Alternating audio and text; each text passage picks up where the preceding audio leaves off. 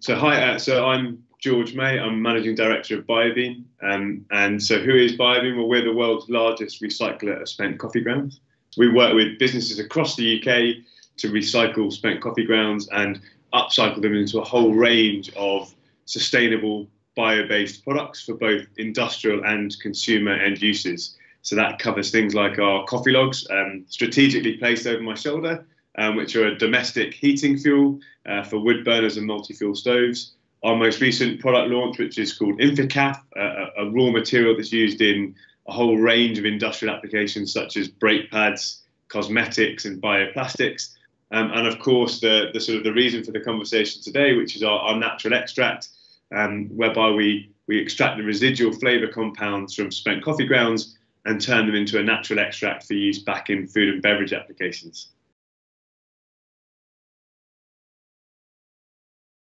In terms of how we found out about primary authority and assured advice, uh, it goes back a few years now when we were looking about looking at setting up our, our new supply chain to, to produce the natural extract.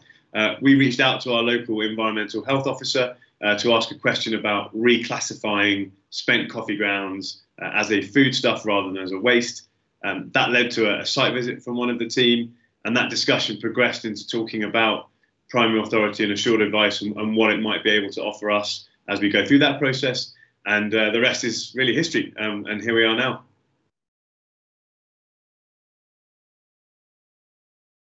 In terms of impact that the prime authority uh, relationship has had, it I mean, it's been it's been significant really for bio-bean. Um, we're a, we're an SME.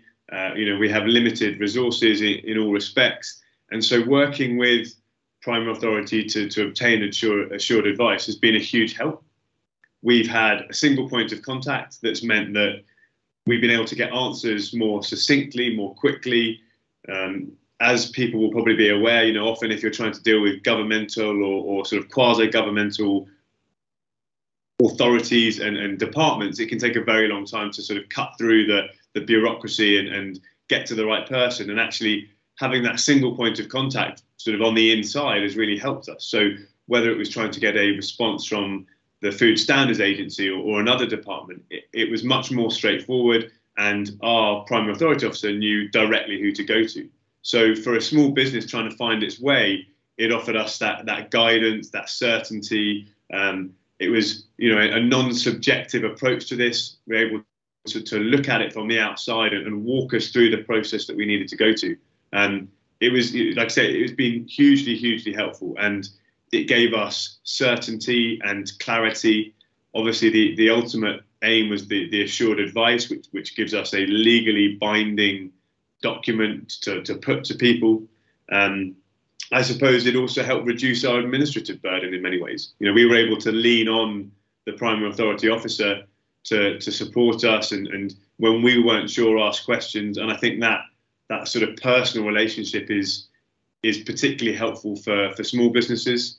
Um, and you know, from from a bio-bean perspective, it enabled us to bring a product to market far quicker than we otherwise might have been able to. It gave the, the, the large companies that we're working with, the major flavor houses and others, confidence in our product, confidence in our processes.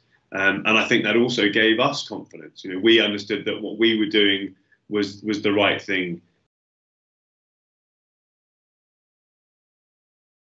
In many ways, it's a bit different to a, a consultant in that a consultant can give you an opinion and help you get there, but you don't have that certainty that sits behind it that we got from working with primary authority. So you know that again, coming back to that that that legal certainty was a huge help for us. In terms of unforeseen benefits, I mean, there, there undoubtedly have been quite a number. We we obviously when we set out on the initial discussion, it was can we can we get the certainty around the processes that we need to put in place to keep the, the coffee grounds a foodstuff uh, in order to be able to produce the natural extract. And I think that we didn't quite know what that what that process would look like or, or where it would take us. And and actually, I think we've learned a great deal. I think the interesting thing in in that respect is not only have we got the assured advice that we've been able to use to, to take the product to market with certainty, but actually in going through that process, we as a as a small business have learned a great deal.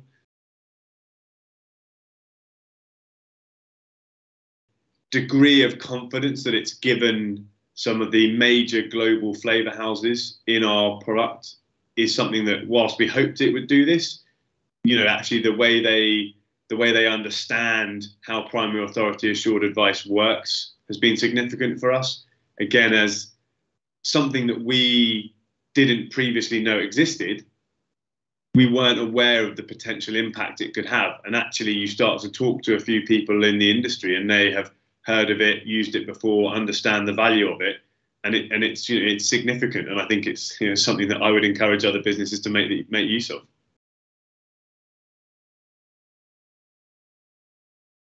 So if we hadn't gone down the route of the, the, the primary authority relationship, I think it bringing the product to market would have been probably more challenging and probably slower.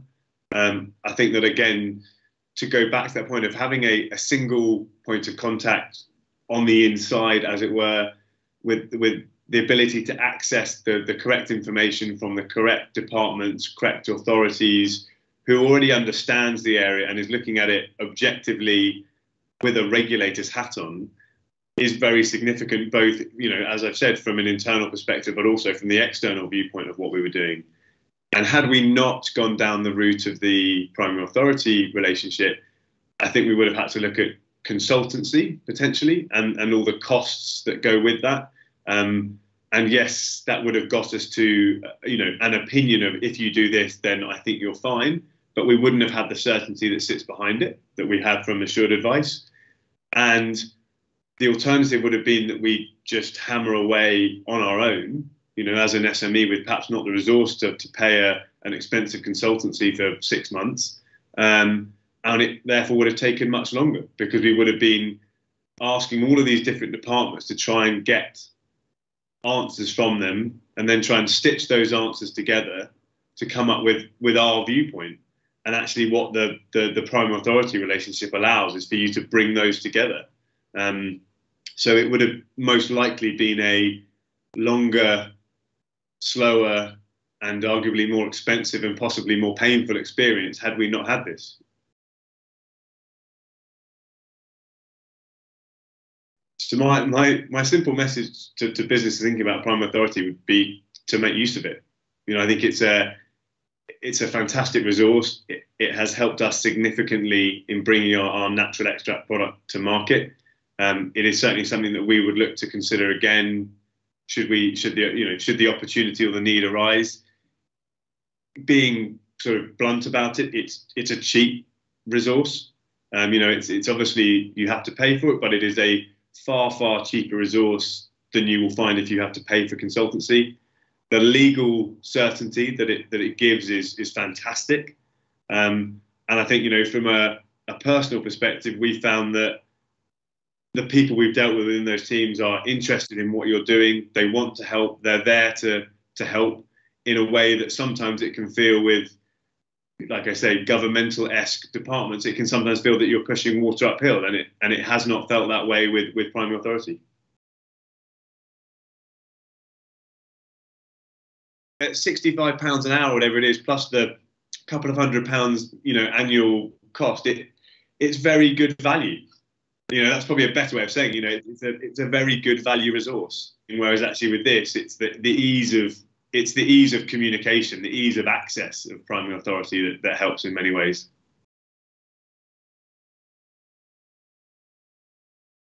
I think the the only other things that I, I would add are that, you know, again, really just to highlight that the the primary authority relationship for us gave us certainty about what we were doing, but it also gave us clarity about how to go about doing it. We were able to to check our processes that we were planning to put in place through the primary authority relationship and that and with our primary authority officer and that that allowed us you know that, that gave that certainty of what we were doing was the right thing to be doing in the right way at the right time with all the right checks and balances, you know, from a, a hygiene perspective or whatever else it might have been, in a way that working with a consultant wouldn't have been the same. You know, we would we were able to engage and, and talk directly to environmental health to trading standards at the right time about certain aspects of the process. And again, I think it comes back to that that single point of contact, being able to then sort of farm out and engage with different different colleagues across across different departments at the right time and pull it all together that really facilitates being able to to to you know bring the project to, to life in a in a straightforward manner.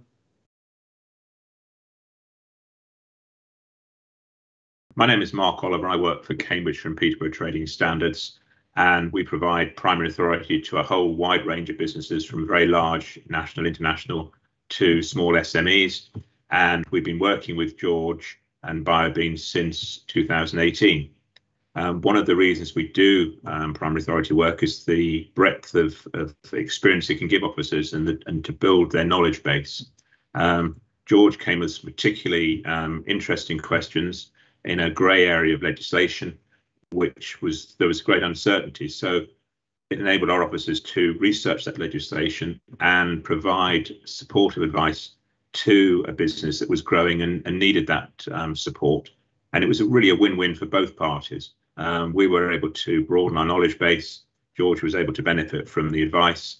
And I think it, it encapsulated the, the real benefits of a primary authority partnership where we can work um, with commercial confidentiality, which can be very important to a business when they're starting off, um, to get that advice from a regulator who they will know if things do go wrong could come knocking on the door saying, oh, well, um, there's an issue here.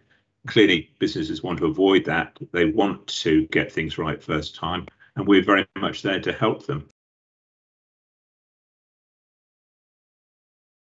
As an authority, um, we very much want to support um, business and innovative business, um, especially where there are grey areas of legislation. And that's where the primary authority partnership and the assured advice comes in. Because of the grey areas of law, we can give that assured advice where a business can rely upon that advice wherever it trades um, within the UK. And we will stand behind that business. Um, and that can be very, very important, something you can't get from a consultant. we act as a single point of contact for businesses through primary authority. So if there is an issue, um, another authority can come to us and we can provide all the information they need um, and any concerns they may have. And obviously, we can address those concerns directly with the business and help regulate the marketplace in a very cost effective way.